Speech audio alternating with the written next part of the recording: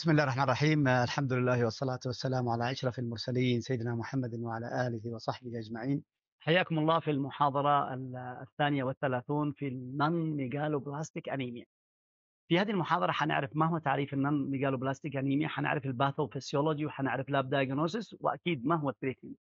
طيب ال definition لل megalo لل non-megaloblastic anemia هو كالآتي. هي macrocytic anemia without impaired في ال DNA يعني يعني إنه في macrocytic لكن عملية ما فيش مشكلة في ال DN في بناء ال DNA خالص. ولذلك نجي نقول هذه اسمها macrocytic طيب. كيف ال pathophysiology حقها؟ سهل جدا. ال bone marrow ما فيش فيه أي مشكلة خالص شغال على في أفضل ما يكون. وبالتالي بيطلع RBCs normal تماما ما فيها أي مشكلة. المشكلة بتحدث في ال peripheral blood إيش اللي بيحدث في ال peripheral blood بيحصل enlarged في ال RBCs وبالتالي حيصبح شكلها macrocytic طيب أكيد حينطرح سؤال ليش في حيحصل enlarged في ال peripheral blood وبالتالي حيحصل macrocytic تعالوا نشوف. أول نقطة لو ال patients ده عنده chronic liver cell failure أنتوا عارفين لو ما تخرج ال RBCs من ال bone marrow ال liver بيروح بيعطيها عملية الفوسفوليبيد layer حتى بيعمل عملية covering لل RBCs لل RBCs بال phospholipid layer ففي defect هنا الآن لأن الشخص ده عنده chronic liver cell failure فبالتالي في defect في قضية ال phospholipid layer اللي بيحيط بال RBCs فبالتالي هنا ال RBCs حت ال permeability حقها حتكون عالية. فلأن البرميبيليتي حقها حتكون عالية حيحصل عمليه ال macrocytic النقطة الثانية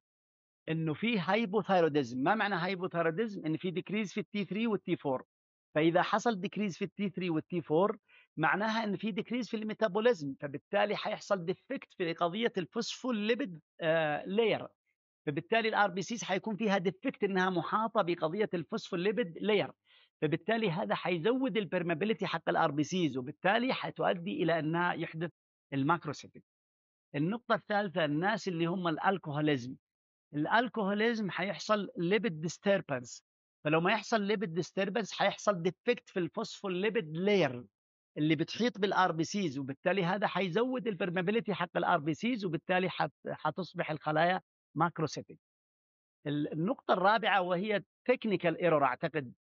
نعتبره technical error إن في hemolytic anemia بالتأكيد hemolytic anemia ما معناها معناها إنه زادت ال reticulocyte ففي reticulocytosis فبالتالي إحنا في ال peripheral الجهاز حيقرأ ال reticulocyte لأن حجمها كبير فحتظهر على إنها macrocytic وأيضا اللي ما فيش خبرة في قراءة ال blood film حيشوف عملية القضية الخلايا اللي هي ال reticulocyte حيشوف إنه على أساس إنها RBCs كبيرة macrocytic فهي بنقول عليها technical error ناتج عن hemolytic anemia طيب كيف نعمل diagnosis لل non-megaloblastic anemia سهل جدا. هذا طبعا ال scheme اللي تكلمنا عليه واللي شرحناه. الآن إحنا فقط في ال في increase في ال MCV ومعانا عملية non-megaloblastic anemia قلنا liver failure or hypothyroidism or alcoholism اتفقنا نظامنا ثلاثة ثلاثة واحد واحد واحد. الثلاثة الأولى hemoglobin RBCs count وال hematocrit دول أكيد كلهم حيحصل لهم decrease إذا أنيميا ما دام أنيميا حنروح نقرأ الثلاثة ال marker الثانيين ام سي في ام سي اتش ام سي اتش سي شايفين الام سي في حيكون increase وال MCH كمان إلى حد ما slightly وال MCHC ده طبعا حيكون normal فنقول حصل عملية هنا في macrocytic ال RDW ممكن تكون slightly increase or normal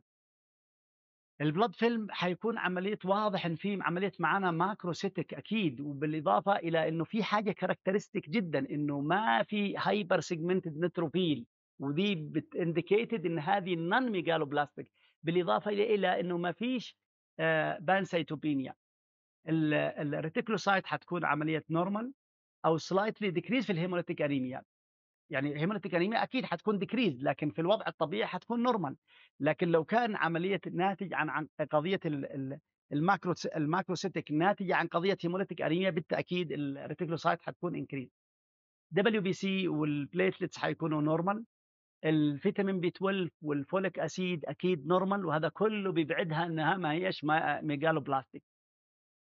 كيف نعمل treatment سهل جدا. يعالج ال cause. إيش المسبب لقضية حدوث ال macrocytic وبالتالي حتنتهي هذه المشكلة. آه، كنت معكم في موضوع سهل جدا اللي هو non-megaloblastic. شكرا جزيلا لكم والسلام عليكم ورحمة الله وبركاته.